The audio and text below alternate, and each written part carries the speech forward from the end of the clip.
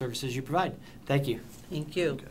Can you do me a favor? Can you, nice and loud, look into the camera and say, You're watching the Working Lunch Show? Uh.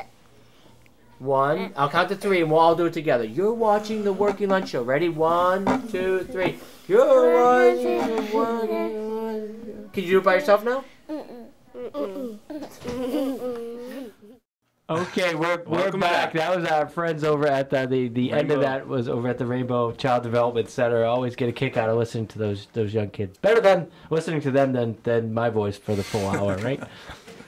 So we did want to. Uh, so great to talk with, with Sandra and John about Yep. about uh, happenings in their work at the at the job center and the upcoming fair at DCU. So we do have uh, an email that came in that we wanted to kind of highlight. So John, why don't you take it away with that? Yeah, sifting through all the emails this month, we, we found one that was on uh, about how to prepare for a job field uh, job fair. So Sue in Worcester writes, "I'm looking to attend a job fair at the DCU Center. Uh, can you give me some advice on how to prepare?" So I talked Pretty to pretty pretty straightforward question. Sue was right to the point. So, so I talked to the um, the career specialist upstairs, uh, Roy Lucas and Anna Tunes, and um, asked them about you know what what Mm-hmm. kind of things you would do at a job fair and what kind of things you might not want to do at the job. Okay. So they they helped me compile a list of do's and don'ts. So very helpful tips, you might say, if you're going I to a so. job fair, not only the one at the DCU, but just in general. yeah, I mean some of these might kind of come off as as obvious, but Well, they're obvious maybe to, to people that have been to a job fair before. Right, right. Sure. Uh, so do's prepare a 30 to 60 second elevator speech or a commercial about yourself. So they actually broke this down, and I thought this was really helpful. They talked about Yeah. five seconds on your personal info, five seconds on why you're here. You're here for an opportunity with this company. Uh, five five seconds on your experience, your work history, your accolades, uh, awards, um, any relevant experience. Um, five five minutes on your accomplishments. Five minutes or I'm sorry, five seconds on your Okay, I'm listening. And then 10 seconds on your knowledge of their company. So kind of like, hi, I'm Jeff Turgeon. Uh, I'm a job seeker. I'm really interested in, in working in such such a field. And then go into a bit, talk Nailed about a bit about yourself. And Yep. so I guess part of it is brevity.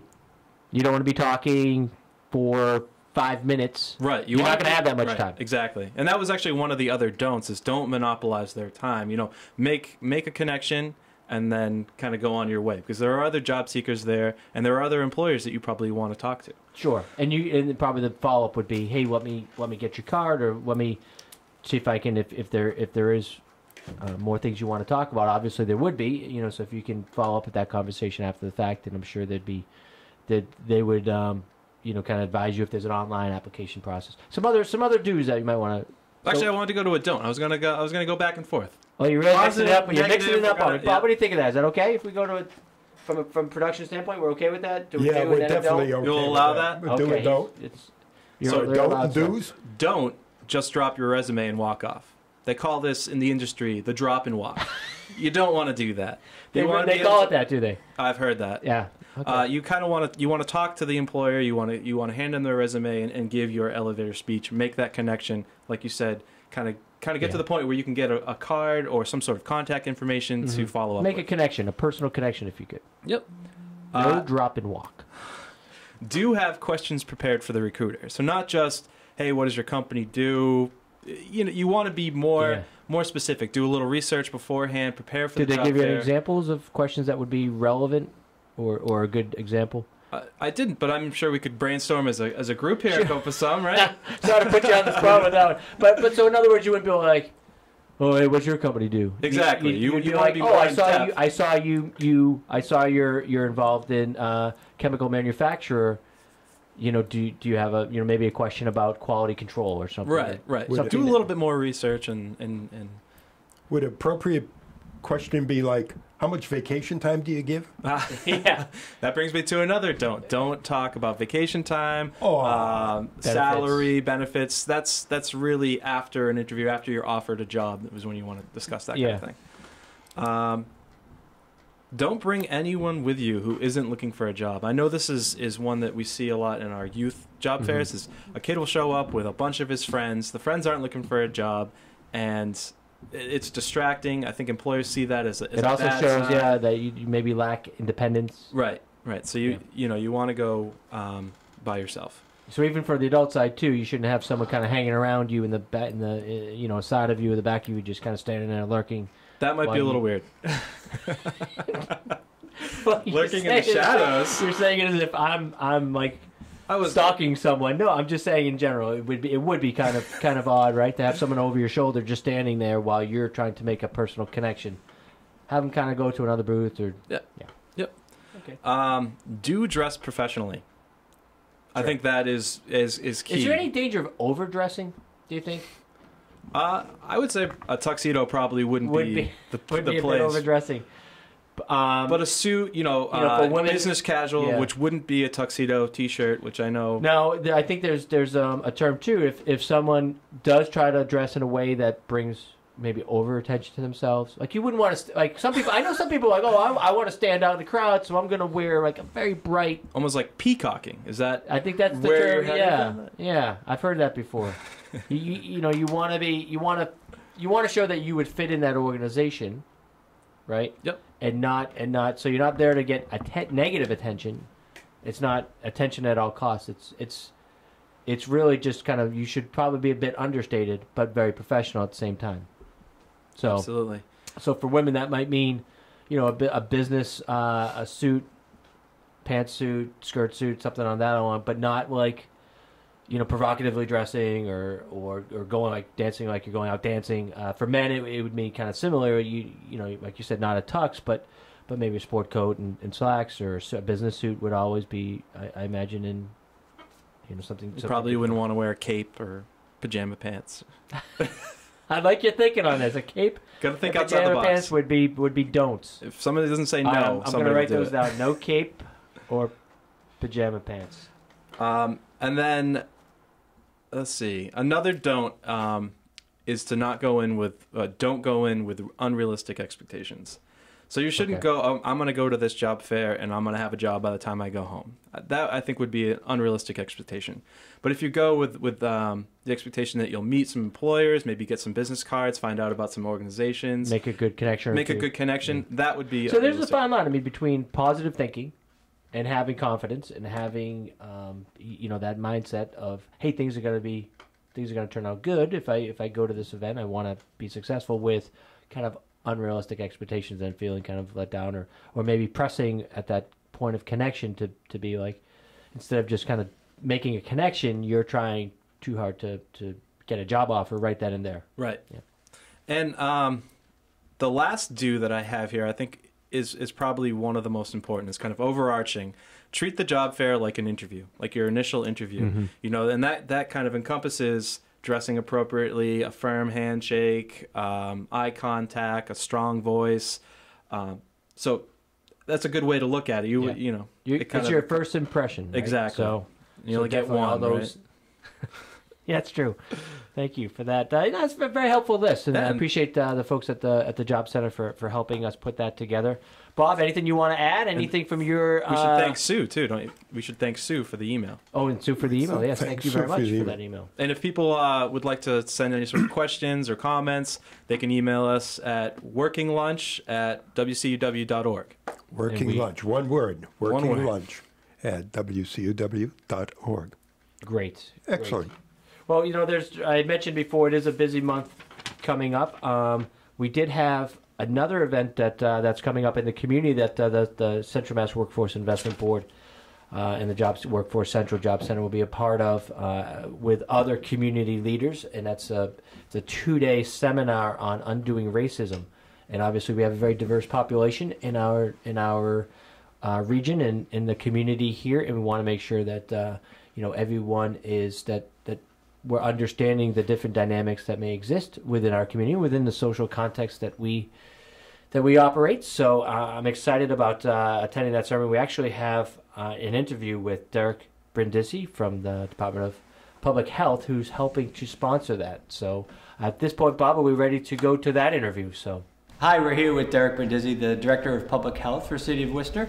Welcome to the show. Thanks for thanks for being on the Working Lunch. Sure, thanks for having us. You're part of the Worcester Partnership for Racial and Ethnic Health Equity, and uh, you're you're sponsoring uh, an event coming up, a two-day uh, seminar on undoing racism. Can you tell us a little bit about that about that uh, workshop. Sure. So the Partnership for Health Equity has been in existence in the city now since 2007. And it's a group that comes together and we try to focus collaboratively with key stakeholders and residents in, in the city to focus on on those, those issues of disparities and racial and ethnic health disparities in particular. One focus of this is that we know that race plays probably the most critical factor in people's health outcomes. And so with limited dollars provided by the State Department of Public Health, uh, we have been able to bring a group out of New Orleans, the People's Institute of Survival and Beyond, to Worcester. This is the third year running um, to hold a two-day training, and it's focused on race. So after this year's training, we expect to have a cohort of 150 individuals in organizations that have gone through this type of training. Yeah, and having and having heard from some of the past participants, they've just raved about the, you know, about the training and about the, um, the the way it gave them a fresh perspective on this issue and really kind of help open their eyes about about. Uh, you know how they go about doing their business. So uh, you know it sounds like a, a really exciting event. Is there still space available? It's happening March 14th and 15th, and it's hosted by the Mass College of Pharmacy. Is that the location, I believe? That's right. So it's a two-day event. It'll be at the ninth floor of the Mass College of Pharmacy. They've been um, very generous in offering their space for those two days, and we appreciate that. Um, but these are two all-day events. Um, any participant, we would ask that you set aside the two full days because they build on each other. So if you don't attend the first day, you don't understand what's happening on the second day, and if you don't go the second day, then you then you don't get the full grasp of what they were trying to build upon on day one. Sure, and, and the workforce board and, our uh, job center, uh, Workforce Central, will be sending a team of, of staff and volunteers. Uh, and we're excited about, uh, you know, understanding the issues better. Certainly we serve a very diverse population, uh, both here in the city as well as in the region. And so uh, having this experience, I think, is going to help us be uh, a, a better integrated in the services we deliver. So, so we're excited about it. And is there still space available, do you know? Um, we're asking, um, right now we're getting close to the mark. We can only hold 30 to 35 participants um, during this training. And uh, we're asking all uh, potential participants to reach out to Common Pathways at commonpathways at gmail.com and try to RSVP before the space is full. So that's commonpathways at gmail.com to find out if there's any space available. So again, we want to thank you for being here and telling us about all the exciting you, stuff you have it. going on and about this uh, this exciting seminar. This is WCUW Worcester 91.3 FM, community radio serving central Massachusetts. And as a community radio station, we depend on our membership and our listeners, as well as underwriters who support WCUW.